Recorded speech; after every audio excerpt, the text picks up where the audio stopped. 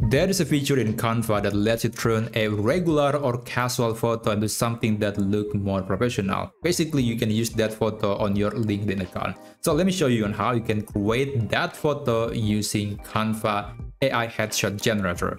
Okay, first let's go to this page on Canva. I'm going to leave the link in the video description. And basically for this demonstration, I will try to convert this photo of a woman and I want to make her to look more professional like he was take, uh, taking a photo in the studio. Now I'm going to just drag and drop the file into this area and just wait for Canva to open the editor.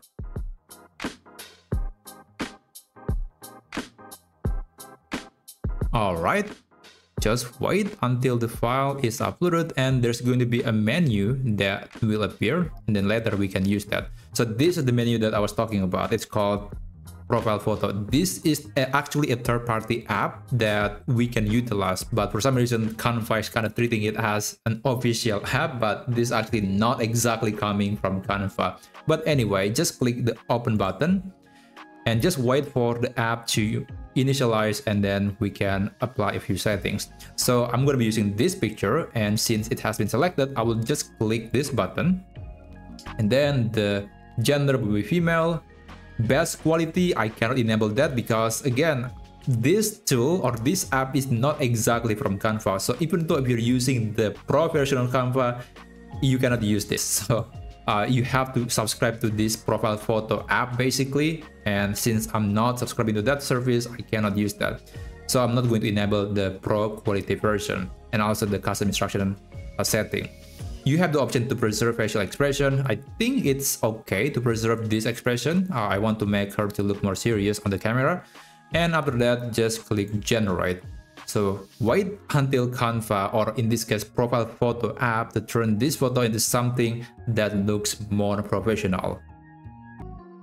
And this is the result. Okay, let me just duplicate this so you can see the actual picture and honestly it's kind of disappointing.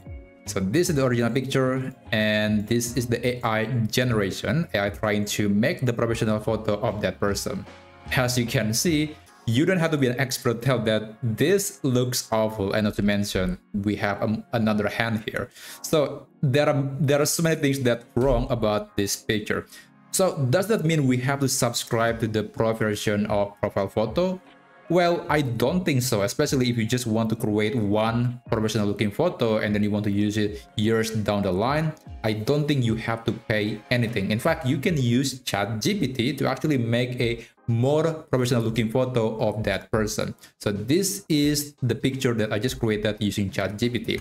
So if you want to know more about how you can create a picture like this one using ChatGPT based on any photo, then you can check out this video that I'm going to leave the link in the video description. So if you find this video to be useful, then subscribe to this channel and I'll see you on my next video. Have a great day.